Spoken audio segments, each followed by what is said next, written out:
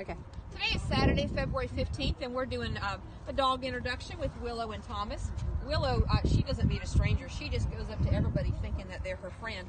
She, she's very easygoing girl, very sweet girl. Don't you want to meet Thomas? She's like, no, I just want to sit here while you pet me. Yeah, is that what you want?